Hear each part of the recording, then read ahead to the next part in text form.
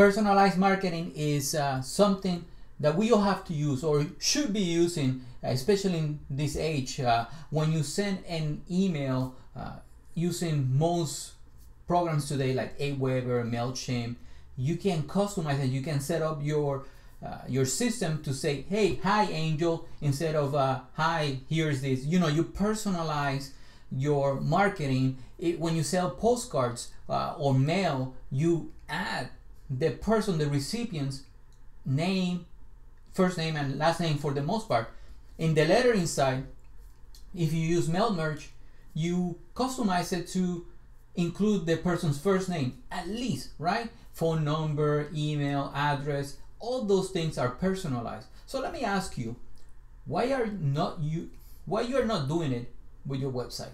This is hard, I understand, for most people because for the most part, what you have to do is create multiple pages for all your clients. If, for example, if you have a thank you page for Angel Anderson, you right now you're supposed to be writing a thank you page for Angel Anderson, so all the text is personalized to me, except if you're using WordPress. So let me show you what I'm talking about. So what I'm talking about is, is this plugin that been, I had for a while. It just, uh, you know, I don't promote it as often as I should because the, you know I don't know why, but the plugin is really really good.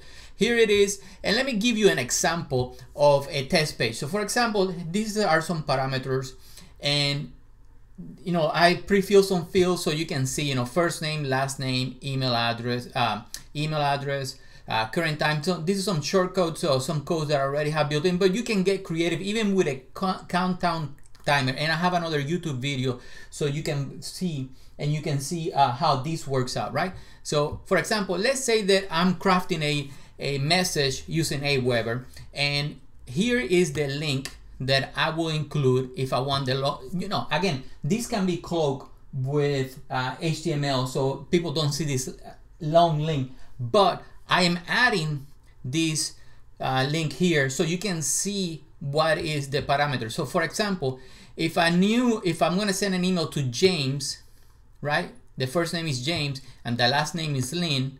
That's what it will look like. So I'm gonna copy and paste these into here. And so you can see, this is the page, it's empty right now in the first name.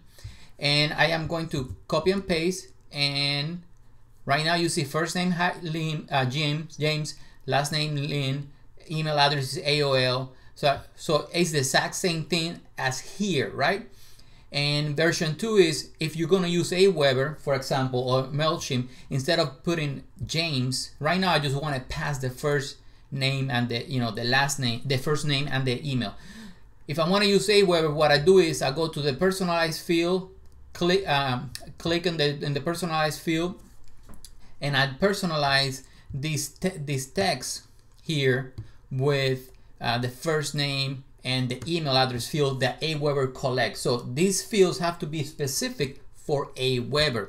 It's very easy because that what it is is um, if you add the first name fix and the email, everybody that is in that list will be you, when you send the email will have a personalized text in your landing page. So for example, let me tell you, I send an email, right? This is the same email you see here in Aweber, and I send it to the, a test.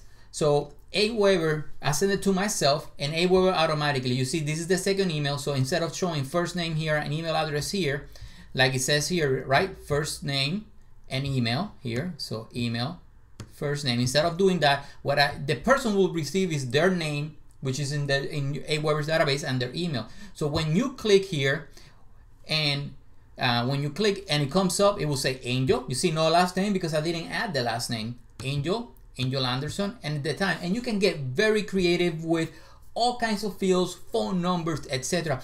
This can be useful for any type of business, appointment uh, confirmations, uh, landing page on the thank you, be more personalized. Say hi, thank you, Angel. You know, when once some somebody sees their name there, it's like you're talking to them.